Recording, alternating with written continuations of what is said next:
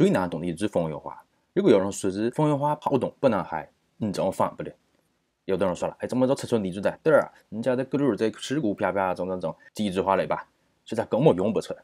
怎么只用在最日常、最普通的一些词儿组成一块句子，就能让外地人嗨不开？一句话是什么呢？你来晋江大地虎娘装的嘞。这句话写出来呀，是这些儿子，实质或是你的话是晋河江大地虎那家出生的嘞。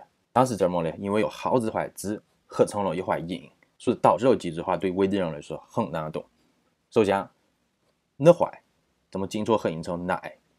嗯的坏事合音成奶事。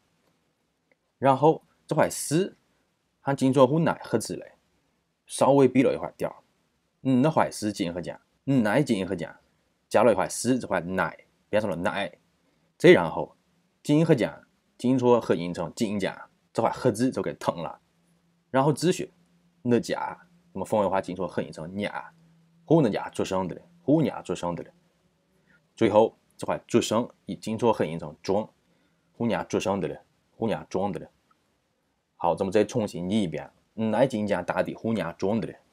赶紧拿好几句话去考考你的外地朋友吧，关注你，了解更多不知道的方言话的奥秘。